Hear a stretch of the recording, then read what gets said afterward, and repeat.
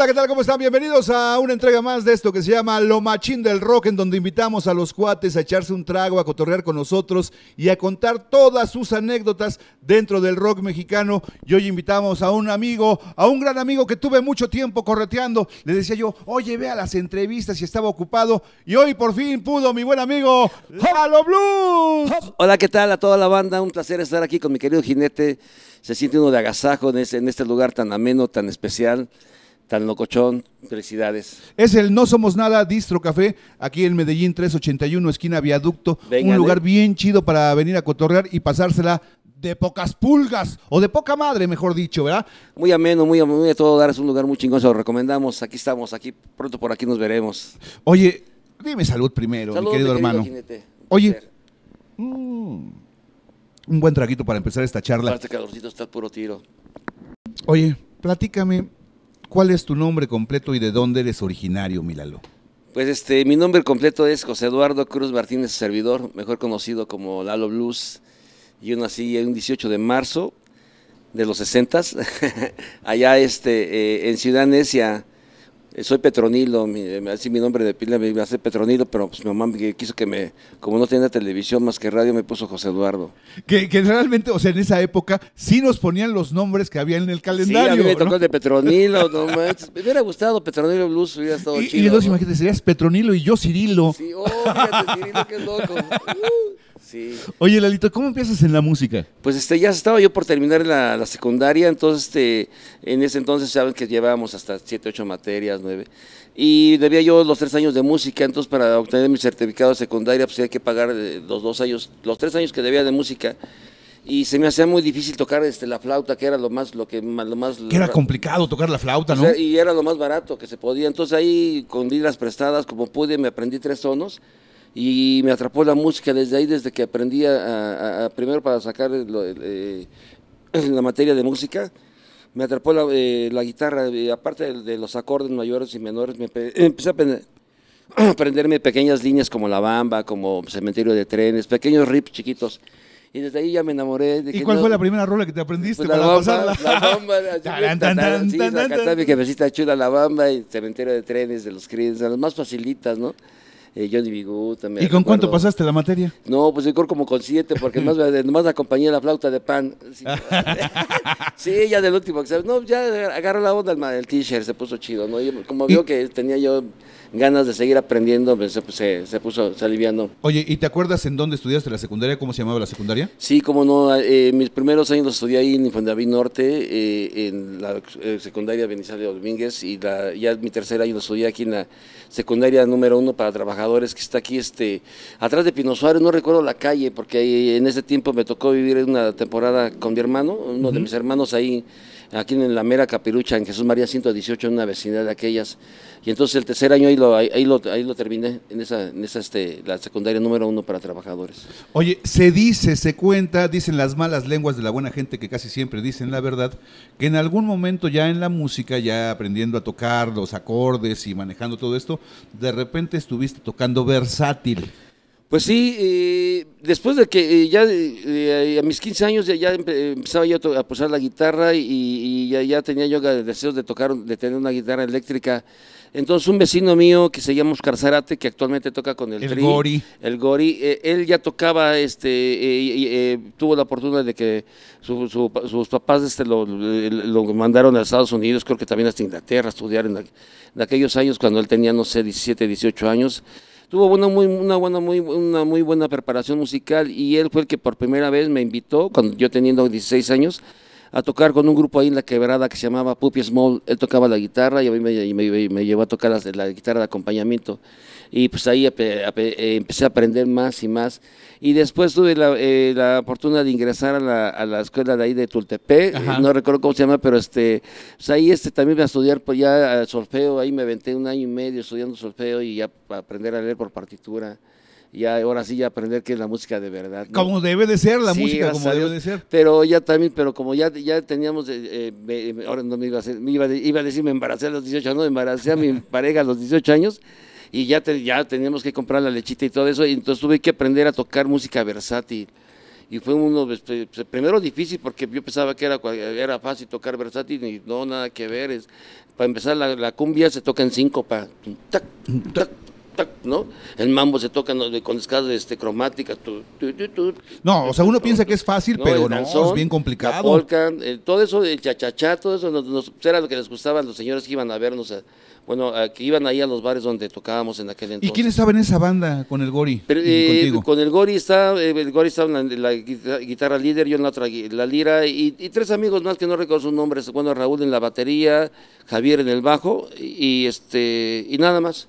Sí, ah, no, eh, sí, porque no, hay dos, tuve un, un cantante que se llama Mario, Ma- Mario Medina, que también cantaba muy chingón. Y de ahí, este, eh, en esos años, como de los, de, de los 16 a los 18, pues pasé co- por varios grupitos aprendiendo a tocar versátil. Yo cuando llegué, este, ya cuando conocí a Guadaña, Guadaña tenía un grupo que se llamaba Sex Machine. Ujú. Eh, Carlos Godínez tenía un grupo que se llamaba eh, Blackstone. Y yo tenía mi grupo que se llama eh, Hielo Negro, Black Ice, ¿no? O sea que ya, Puro, sí, no, pues, ya, se, entonces, ya eh, se veían ahí no, eh, de puro- repente. Pero puros, puros nombres acá, band- puros nombres bandosos, fíjate. Sex Machine, ¿no? Eh, Blackstone, Black Ice, y, y el único más fresa era Fernando Hoja Seca. Sí, ya éramos amigos, cada quien tenía su grupo, ya nos conocíamos y, y de, de- de pero vista. cada quien estaba por su lado. Sí, cada quien. Entonces este, decidimos, este, eh, bueno, eh, estábamos en Barrientos, un amigo mío, Tomás, no me recuerdo su apellido, eh, un, grande, un valedor de, de, de infancia y la adolescencia. Te- eh, él, él siempre tenía ganas de tocar la batería, pero no, como nunca se le dio mucho, pues ya, este, ya tenía dos aparatos, uno de guitarra y uno de bajo, Barcazón su guitarra, su batería en pala y decide pre- eh, patrocinarnos o prestármelas para que yo hiciera una banda. Y nos pusimos a ensayar ahí en el patio de su casa y ahí hicimos un, un cuarto forrado de tambos que tenía la leyenda Bostic. que era donde guardaban agua. Donde, sí, pero luego ya cuando se oxidaban, pues los partíamos por la mitad y se ya se hacían especie de láminas, ¿no? Ya como láminas de, sí, láminas de, para, para, para, para hacer unas paredes. Y ya hicimos este, un cuartito ahí, forrado de láminas de, de- de tambo. O sea, no eran los tambos encimados, sino que eran eh, partidos por la mitad y ya, pues, ¿no? Y así lo veía la banda, se asomaba por el cuadrito y lo Pues ahí yo escuchaba el ruido y por los hoyitos ahí nos veían. sí, y ya en nuestra primera tocada, el mismo Tomás nos anuncia como Bostic Band. Y ahí empieza la leyenda en el 83, allá por, de- por febrero del 83. Y en ese 1983, bueno, ya estaba Carlos Godínez. Eh, ahí nomás estaba Carlos Dodines, estaba, eh, estaba este Juanito en la batería, yo, eh, yo en la guitarra líder, y teníamos un cantante que se llama Crolán, que ahora vive, radica allá en, en, en, este, ay, ¿dónde están las pinches montañas? En Denver. En Denver, eh, él fue cantante de un grupo que se llamaba Féretro. Y, y él Y- vendría y- siendo el primer El cantante, primer cantante de la, banda, Voz. Simón Crolán, que le mando un saludo, que también sigue, sigue, sigue teniendo su banda ahí, este, eh, allá en el, en el Gabacho, sigue tocando, sigue grabando discos, tiene su propio estudio. Crolán es conocido por toda la banda, por, por todos los que andamos aquí, por Luisito Laragán, por Toñito, por, por, por el maestro Lora, todos lo conocemos a Crolán.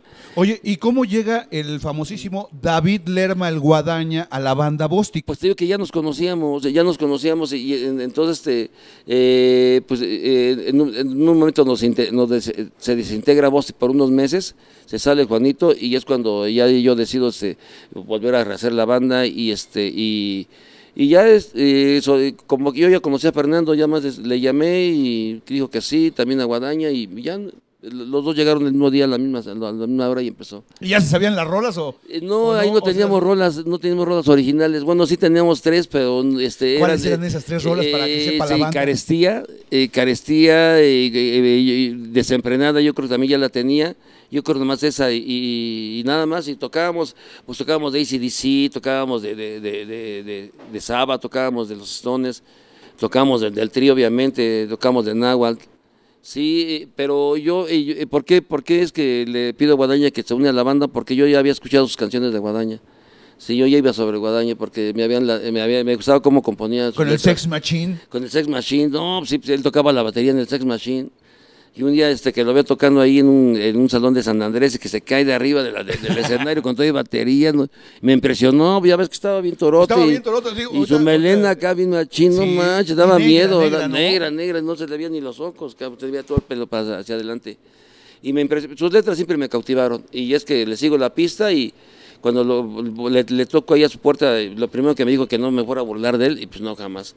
Y ya me enseña ahí su morral del- de, la suerte, y pues ahí tenía un montón de canciones bien bonitas. ¿Y, y cuál fue la primera canción que, que dijiste? Esta está bien chida Pues para ya, eh, la primera que, que musicalizamos fue la de este eh, eh, Falsa Sociedad. Falsa Sociedad, sí. Y fue de las primeras, Tlatelolco, en, en ese, en ese primer encontrón. Que, ¿cuál, cuál otra hicimos? Hicimos como tres, el Sexo y Realidad, creo, en, en aquel entonces. Sí. Y, es que siempre seguimos componiendo, pero no vamos haciendo las canciones y las sacamos como que estas salen en el siguiente disco, sino hay algunas que ahí las tenemos de hace mucho Las dejan tiempo. ahí, se olvidan. Sí, y no las hemos toca- no las hemos grabado. Acérquese un poco más el micro para Sí, que... y no las hemos grabado, no las hemos grabado y es, es por eso que de repente se, pues, sale la magia cuando estás en el estudio y te acuerdas y ya. ¿no? Oye, y vámonos a... Bueno, ya son los 80s, Vamos a echarnos 1980. otro traguito, sí, otro traguito, dígame. Salud, ¿cómo no? Para recordar la década de los Ah, 80. qué agasajo cuando tocábamos en los bares. Y, ay, quiriábamos, nos perdón, nos iba requete bien porque empezábamos a las 5 de la tarde.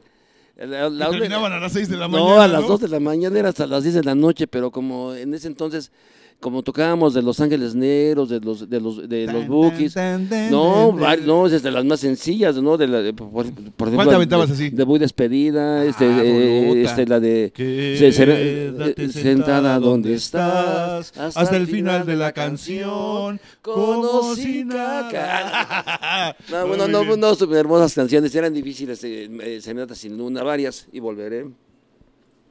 De los Bookies, de los Johnnies, de la Santanera, eh, te digo que tocábamos este, de norteñas, de un- un- teníamos un cliente que era un trailero que quería que tocáramos siempre la de Ay Chabela, pero hasta 50 veces. La rola de por sí... Bueno, pero pagaba chido. Sí, no, pues se la tocábamos de a medio minuto y hasta las chicas ya sabían qué onda, porque pues es el que se discutía, de allá llegaba así, era así. Con el puro camarón. Con el puro bonche, ¿no? Esos pinches traileros. No, si te contara, ese fue del bar Johnny's. Este, bueno, ahí duramos como un año, pero lo gracioso de esto que ya nos salimos en el 87 cuando sale por primera vez el disco de, de este de en pentagrama. Y por el 88 estábamos este eh, en un programa eh, eh, Pero antes de que te vayas ahí, ¿cómo llegaron a Pentagrama? pues que, eh, quién sabe, de repente nos hablaron de, de- deja recordar, yo creo que fue el tranza de Charlie, Charlie Buster que, que se, se conectó ahí. Bueno, que de hecho Charlie dice que, que fu- que fue a, a- a tocarle la puerta a Modesto, de ahí de Pentagrama. Eh, de repente nosotros sabemos que ya estamos conectados pa- eh, eh, para, para Pentagrama. Porque nosotros este, ya habíamos eh, grabado nuestro disco independientemente. Siempre la, eh, la producción y composición la hemos llevado eh, David Lerma, eh, eh, González Guadaña y tu servidor, ¿no? Y Charlie fungía como nuestro manager, nuestro carnal y representante. Pero el cabrón no era bien avanzado, muchas cosas ni nos las, ni las, ni nos las comentaba, ¿no? No, muchas anécdotas. eh, de repente eh, lo contrataba alguien o a una persona que, que, todos debiéramos de conocer y pues no sé que a lo mejor por mala onda nomás las quería, más quería conectarse él. Y entonces muchas cosas pues no, no, no las sabíamos. Yo no sabía ni, ni, ni siquiera que nos tenían que pagar regalías de nuestro primer disco hasta que un día me dice el guadaña, no te vayas a enojar si te digo algo, ¿de qué? Pues que así está el pedo, ¿no? Que- que- Que no nos han pagado no, regalos. Cachera ya había cobrado dos tres regalías, un ching. En Pentagrama. En pentagrama, no sabíamos, carnal, ¿tú crees? Muchas cosas no sabíamos. Y ese disco se grabó en el estudio de Rafael Acosta. Sí, de los locos de, de los locos de ritmo. Por cierto, en aquel entonces nos cobró 100 mil pesotes de aquellos. No, era que- una la sí, nota. de lleva- eh, se- eh, eh, por poco nos mandan la goma porque le llevé como 30 mil en, puros, en puras monedas de, De a peso. Sí, pero agarró la onda porque pues, sabe, somos músicos, sabemos tardía, desde aquí sacamos toda tu pachocha. Que si era una buena lana. ¿eh? No, 100 En mil pesos estás sí. hablando de, de que es una, una lana para... Era, era en, el, en Sí. el 85, en el 85 fue cuando lo grabamos en su estudio, ahí fue grabado en el 85, disco de Abran esa puerta, y ve la luz hasta el 87. ¿Te acuerdas en dónde estaba el estudio? No, pues, era ahí cerca de la villa, por, por ahí cerquitas, una, una de esas avenidas grandes, me, me recuerdo, no, muy bien no recuerdo bien. Sí, pero bueno, estaba, era en su casa de Rafael Acosta, ahí nomás lo, lo que sé que era su casa. Era un estudio de ocho canales y, y todavía vivía eh, un, un, este, ingeniero que, Toño Castri, que muy querido y que había grabado con varios compañeros también, de- conocido en el ambiente. Ah, pues ahí también grababan los, los, este, los ¿cómo se llaman? Los Blues Boys. Ah, ¿cómo En no? ese mismo estudio con el mismo ingeniero, varios así de, de ese entonces, no los, no recuerdo qué grupos, pero varios, porque también grababan eh, grupos tropicales y de todo. Sí. Era Y- cuando los estudios de grabación sí dejaban, ¿eh? No, y- dejaban y bien. eran buenos, o sea, y había buenos ingenieros de grabación. Sí, no, no, buenos y buenos. para- Porque luego ya le improvisaron y empezaron a meter. Pues es que de repente Ingenieros lleg- de todo. llegaron compañías como tú sabrás quién. Ah, no, eh, lleg- llegaron eh, eh, compañías en que ya, ya, este, ya pagaban como por, por eh, eh, como a destajo. Ya, ya, ya, ya de- decían, tú grábales y nada más, este, dale nada más de tantas horas. Digo, este, está bien que los, los, los, los virus hayan grabado en dos, en, en un, en un estudio de dos canales, y- pero pues eran los virus, cabrón, bien ensayaditos, ¿no? Y la voz, y, o sea, y hasta tres meses, ¿no? Tenía que grabar con más tiempo. eh, no, pues fíjate, nosotros querían que grabáramos en 20 horas un disco, güey, pero de grabada, mezcla, pero y todo bien, bien chinguetas, no manches, así que vendiéramos un chingo, pues está cabrón, ¿no? Un buen disco tiene que hacerse bien rico, Con tiempo. ¿no? Con, con- tiempo y sí, para sabroso. darle su espacio, Sí, su tiempo a cada De canción. repente hay magia que- y, y hay rolas que salen en un instante, ¿no? Pero hay rolas que te re- re- requieren de más y, y de que también al, al cantante de repente no le sale una cierta frase y ahí te paras, güey. ¿No? Y pues hay que esperar a que se aliviane o hacer otra cosa. Está cabrón. ¿Le parece muy bien si este nos servimos, vamos a, echar una firma y Vamos a ver, continuamos este, con esta plática tan ¿Cómo no? amena? Claro que sí. Vamos, esto es lo machín del rock. el Ahorita verde regresamos. será, verde será. Y ya estamos de regreso en lo machín del rock, ya nos servimos. Y ahora sí, dígame salud como Oh, debe de ser. Una cerveza en la cabeza, qué belleza. Mm. Salud. Ah. Bueno, y estábamos platicando de lo que fue Pentagrama y de todo ese numerito, pero también recuerdo bien a mi mente que con ese disco en 1987 se da la oportunidad de que la banda Bostic empiece a sonar en la radio comercial en una estación que se llamaba Espacio 59. Sí, obvio, qué, qué- qué- afortunados fuimos con, la, con esta gran señorona, una gran comunicadora y una gran persona, Fernanda Tapia, que, la cual le mando un fuerte abrazo y bendiciones. Una gran emprendedora que siempre ha creído en el arte popular, por eso es una gran comunicadora y es una gran eh, líder de opinión. Mis respetos para. Te amo, Fernanda. ¿no? Ay, y, y ella fue de... No, pues es nuestra madrina, duramos un año sin pagar nada. Exacto, estuvo La sonando Gorrión, la ¿no? canción de Viajero. Sí, gracias a por Dios. eso se hizo tan popular. Sí, gracias porque a Dios. Viajero sonaba en Espacio Sí, y si- 59 constantemente. Sí, si hubieran sonado las demás, fuéramos internacionales, pero bueno, esa es otra historia. Pero entonces, ¿y quién, cómo llegaron ahí? ¿O, o quién, No, quién eh, hizo el eh, conecte? Este, no sé, eh, este, ahí, ahí llegamos ahora sí que, que eh, no sé quién llevaría el material eh, a, a- a- bueno, se- según, según las palabras de Charlie. Charlie lo llevó. Puede ser, pues era el manager, pues era el, el encargado. Pues así como nos, así como era su comisión, pues sí, yo creo que sí puede ser. Y, Sí. y Charlie se encargaba Sí, de todo ese tipo de cosas. Sí, sí, él, él era su, su trabajo como representante y manager de la banda Boston. Y luego viene, bueno, viene el llegar a, a Discos y Cintas Denver que Ahí, salen de eh, Pentagrama y llegan a Denver, Sí, ¿no? eh, a Denver este, andábamos tocando y el que nos buscó fue este uno de los hermanos de Octavio, Joel. Joel, Joel Aguilera, que andaba en una combi. Y ya, ya era, era- él ya nos conocía en las tocadas, era, era nuestro, era fan de la banda Voz Ujú. y él fue el que nos contacta con, con Octavio. Y eso donde empezamos ahí con. Que por cierto, discos, eh, discos de cintas Denver nomás era un cuartito como de 4x4, que era donde nomás tenían las, los discos del Three Souls y My My, los de Mara, y fuimos el tercer grupo en aparecer en la escena ahí en- para la compañía de Denver. Y que o- obviamente siendo el tercer grupo, bueno, fueron consentidos en la compañía. Pues los que vendíamos a manos llenas. no, y luego el Guanaya fue el ven- vendedor número uno, número estre- estrella. eh, eh, Wadis empezó la, la, la, la, la estrategia de vender en los tianguis, se iba a, a, a, a- a- a Toluca, se iba o sea, a- vendía de mano en mano. de mano en mano, se llevaba una camioneta que le proporcionaba la, la disquera, pero pues, pregúntale a Octavio cuánto vendías, eran, de ahí salían, de ahí salió para grabar a más grupos. Sí, porque se llevaba cajas, maletas, eh, vendiendo, claro, este... Muy chambeador, David, ¿no? Sí, sí, sí, claro, o sea, de, de- tampoco fue gratis, ¿verdad? yo lo sé, pero bueno, pero fue una gran estrategia que en ese entonces ayudó bastante porque pues, había efectivo.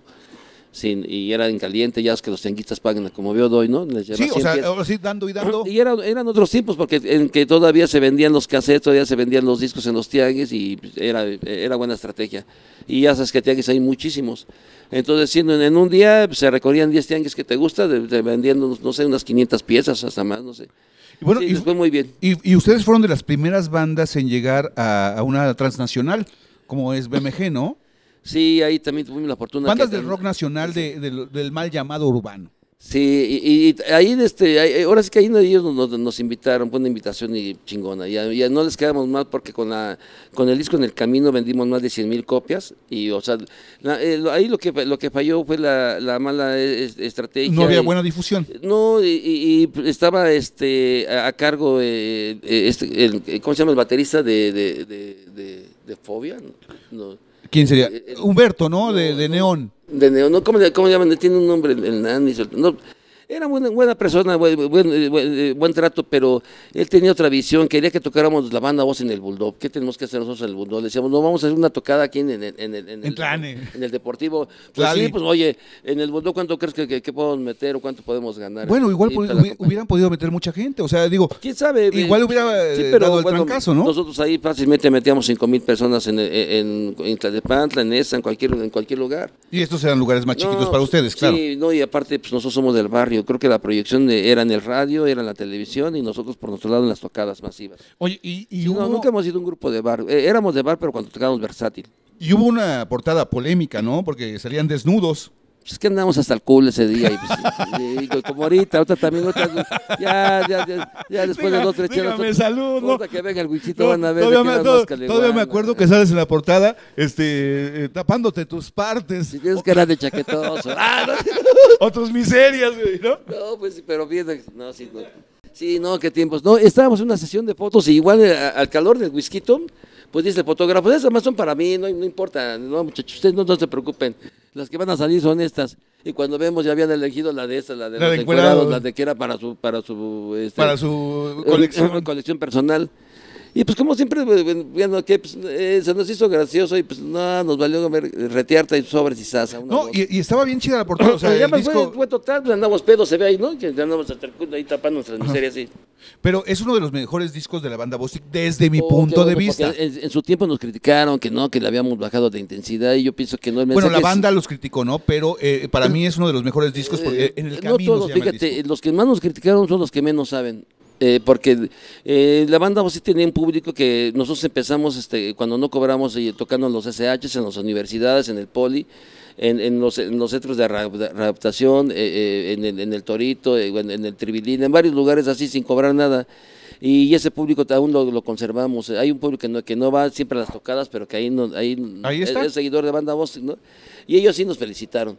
Pero los que no, los, los que siempre quieren las tocadas gratis, los que siempre están cagando el palo, son los que dicen, ay, no mames, oye, bien fresa, esa, esa pinche canción de déjala hacer que no mames. ya es Y ahora todo el mundo la ¿verdad?". canta. No, la del adiós al alcohólico, no, que, que, que, que, que, que ahí era, que, que- que, que nos veíamos mal. Pues es que venían muy buenas rolas. No, pues la de las la de las del alcohólico, cuando se la escuché el guadaña, dije, me dan ganas hasta llorar. Dije, pues, Ah, yo pensé que te daban ganas no, hasta no, de chupar. chupar y de llorar. No. Es, es- es- es nuestra, nuestra, bueno, nuestra vida, nuestra historia.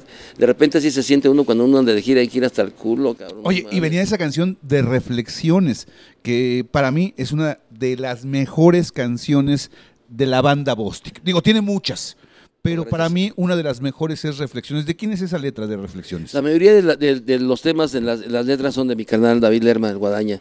Esa está también del Guadaña, sí. Yo he escrito como, tenemos más como 105 rolas, 100 y cacho, no sé cuántas, pero ah, por ahí no pasan de 110. Yo he escrito como unas 15 y las demás son de mi canal. ¿Cuáles son tuyas, Lalo, para Eh, no saben? pues son de Así está bien, desenfrenada. Ah, ¿a poco Así está bien? Es, el Así buitre- el está buitre- bien. El buitre del amor. Yo, como, yo, yo, yo compongo de amor y contra de ellas, a huevo. Pues yo no saca, no soy mandil, papá. ¿No? O no, sea, pues soy el líder, ¿cómo crees? Ah, A eso, papi. Sí, no, todas las que son de, de- sí, de, De amor y contra de a ellas. huevo, la de, también es la de, la de este, la perra callejera, la otra, como, de otra- eh, aquí viene una, ¿cómo se llama esta que dice, que se dice loco? Pero no- como- ¿A loco el staff? Sí, a loco, de- la de, la de este, a gatas. Ah. Pues es que ya ves que como Es que gusta andar- padece de amor. Sí, es que hay cada, cada chica eh, de esas que son tremendas y sí que se imponen y los hacen andar a gatas, cabrón, ¿no? Bien tóxicas. Oye, ahorita me estaba acordando de que cuando yo conocía a la banda Bostic, a Lalo, Guadaña, y bueno, en aquel entonces no estaba Fernando, estaba el Pillo, por cierto. Saludos al Pillo, espero que ande por ahí. Yo decía, no, estos son bien bravos para tomar, ¿no? Pues este, afortunadamente no se, no se nos ha hecho vicio. No, Eh, y, es no, que- y aparte, aparte nos entendimos muy bien porque No, éramos pues sí, igual de no, pues sí, no, y seguimos, gracias a Dios. Fíjate, mi papá está por cumplir 92 años y todavía nos echamos un tequilita. No, jefe. pues está bien Y chido. todavía tiene, buen- me- te recuerda Muy todo. lúcido. Sí, muy lúcido. Mi papá, mi papá es eh, Celerino Cruz Corona de Tincamato, Michoacán, a huevo. pura gente cabrona. No, a mi papá lo amo, todavía vive mi papá, chito chido. Mi mami se fue a los 76, le dio la diabetes y, y la extrañamos muchísimo. Sí, ¿Tienes más este, carnales? Sí, eh, bueno, en total fuimos nueve, eh, ya, ya tengo tres hermanos fallecidos, quedamos seis, sí. Y aquí andamos, gracias a Dios.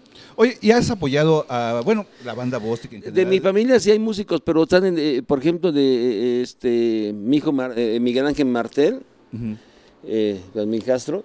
eh, eh, él Hijo aquí- de- del burrito. Ajá, él aquí se, se- sí, pues, está conmigo desde que tiene un año, dos meses, lo amo con todo mi corazón, de mi vida. Todos mis hijos los amo. Eh, No, pues sí. Eh, eh, siempre lo más que he disfrutado ha sido de sus cagadas. Bueno, de, de chicos y de grandes, ¿eh?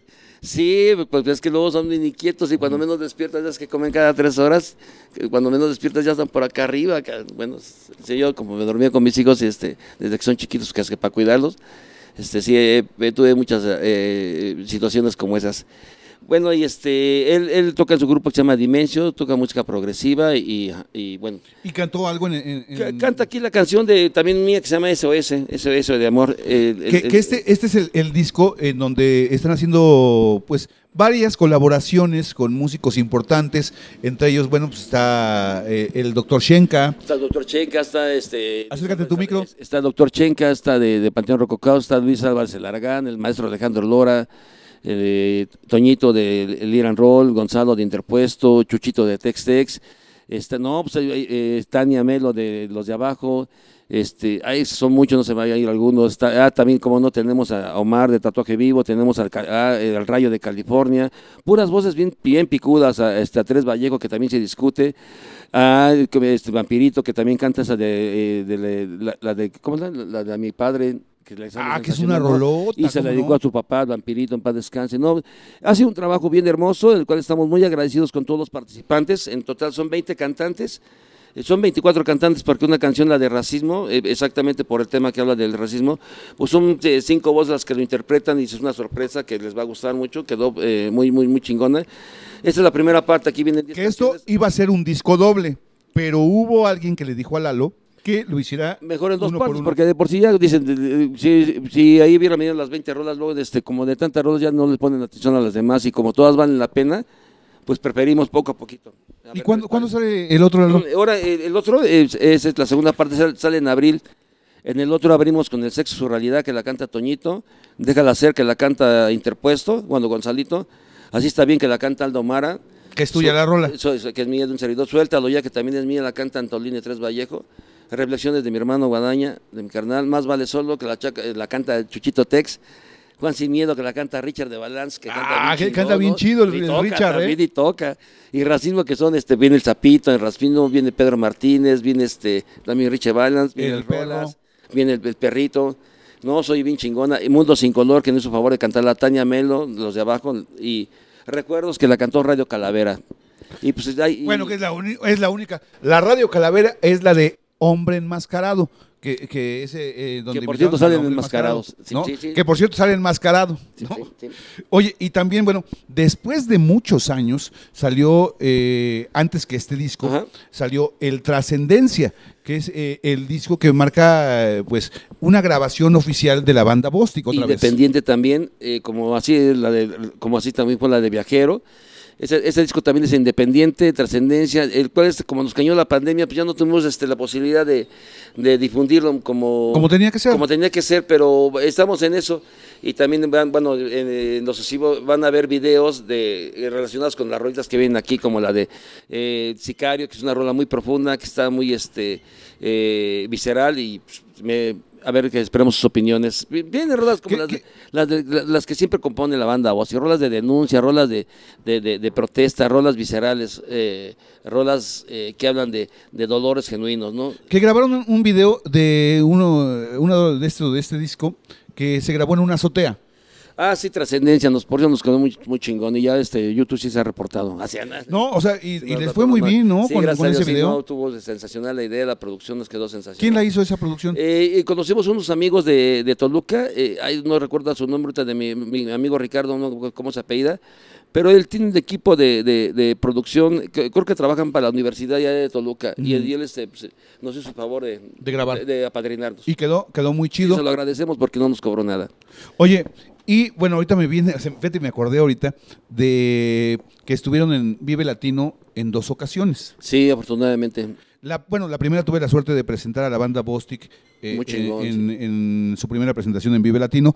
Y en la segunda nos invita en 2014 y nos invitan a Milla Huicho a, a subirnos a, a- a medio toquín a, a- a dar unas palabras de Que por, cierto, se, que por cierto se tardaron y por eso nos querían cobrar 100 mil baros más de Nos tarda- extra, nosotros oye. nos tardamos, güey. Sí, no Ustedes mames. se tardaron, güey. Bueno, que es la única, eh, aquí lo voy a decir, es la única banda en México que se ha puesto al tiro con el Vive Latino y se ha pasado del tiempo que les marcan, porque generalmente les dicen son 30 minutos, 40 minutos y nadie se pasa de ese No, tiempo. porque te multan. Pero bueno, les agradecemos su, su comprensión y, y su cariño. ¿Y, ¿Los multaron? Sí, sí, no, sí querían, pero se, se alivianaron, porque sí, les mando un fuerte eh, saludo a, a- a los- A todos. A, todos, que los bendiga.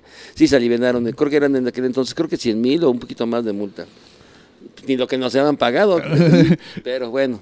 Y ya, bueno, pero les fue muy bien. Sí, gracias a Dios la respuesta de la banda siempre a toda madre. Este, te digo que e- ese público no es de todos los domingos, es público diferente. Te- Claro que amamos nuestra, nuestra banda de cada ocho días, claro que sí, de, de todos los barrios, pero también apoyamos bastante a, a la banda que no porque no quiera, sino porque no puede, no puede asistir a, a las tocadas que estamos acostumbrados de cada fin de semana, porque tienen que estudiar, trabajar, pero no dejan de ser rocanroleros y rocanroleros bostinianos de Hueso Colorado, a los cuales les- los quiero mucho les mando un fuerte abrazo. De hecho, me acuerdo que en aquella ocasión de 2014, que en paz descanse mi querido Huicho, fue Sí, el hombre. último Vive Latino que estuvo, que estuvo conmigo. Un Salud. saludo por Huichito. Por Huichito. Huichito. Salud, aquí estamos, papá, ya sabes. Ahí, ahí, ahí vamos. Bueno, primero va. Ah, no, no, no, que Dios sabrá Dios. Llegamos al camerino porque nos mandan a avisar. Los busca la Bostic en el camerino. Ah, caramba, pues bueno, pues vamos al camerino. Y llegamos al camerino de la banda Bostic y tenían la fiestota. Pues Estamos cantando la canción de Smoke. eh, Puro No, Smoke. abrieron la puerta y una, una nube de humo. Si no, pues, este, estaba ahí eh, papá Dios con nosotros. Y, y estábamos cotorreando y la pasamos muy bien. O sea, son amigos de toda la vida. Eh, Hemos compartido muchas cosas, Lalo. No, sí, lo agradecemos sobre todo por ese gran apoyo, la confianza y sobre todo eh, eh, eh, también eh, las, las, las sugerencias, las recomendaciones que, como tú que has- has, este, conoces muchos amigos, mu- muchas personas en la industria de la, de la música, tus observaciones, tus sugerencias son importantes para un grupo como nosotros y lo, lo agradecemos de corazón. Mi querido Lalo, sabes No, que sí. También, siempre se han portado a todo dar y por eso se siente uno eh, cobijado, agasajado en estar siempre contigo en cualquier este de cualquier programa que nos invites. De hecho, por eso invitamos a mi amigo Lalo, porque tenía un rato que no lo veíamos y es un gusto platicar contigo. ¿Algunas palabras que le quieras dedicar a la banda rock and rollera que ve estas entrevistas? Pues sí, que fumen de la medicina, que no se metan nada químico porque eso mata sus neuronas. la neta. Coman frutas y verduras. Coman frutas y verduras. Aguas con la tira. Órale. Póngase ¡Salud! trucha. Es Sobres mi y sal. Lalo ¡Hop! de la banda Bostic. Esto fue Lo Yeah. Rock.